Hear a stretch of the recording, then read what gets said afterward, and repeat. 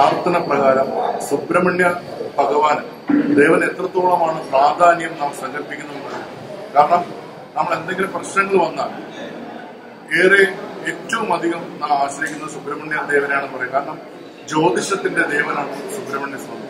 ഇന്ന് നമ്മൾ കഴിഞ്ഞ ദിവസം കണ്ടത് വാഴക്കോട് സുബ്രഹ്മണ്യ ക്ഷേത്രത്തിലെ ഷഷ്ടിയുടെ മൂന്നാം ഉത്സവ ദിനത്തിൽ ഭഗവാൻ ഊരു ചുറ്റാൻ പോയി തന്റെ ദേശവാസികളെ മുഴുവൻ അനുഗ്രഹിക്കുകയും അവർ ഭഗവാന് ആദരവ് നൽകി തിരിച്ച് ക്ഷേത്ര സന്നിധിയിൽ എത്തുന്ന കാഴ്ചയാണ്. ഈ ഇന്നത്തെ ദർശനം എന്ന് പറയുന്നത് ഭഗവാൻ ശ്രീകോവിലിൽ നിന്ന് പുറത്തു വന്ന് തന്റെ ഭക്തരെ മുഴുവൻ അതായത് തന്നെ കാണാനും ഉത്സവ ദിവസം കൂടാൻ വന്ന എല്ലാ ഭക്തരെയും പുറത്തിറങ്ങി അനുഗ്രഹിക്കുന്ന കാഴ്ചയാണ്.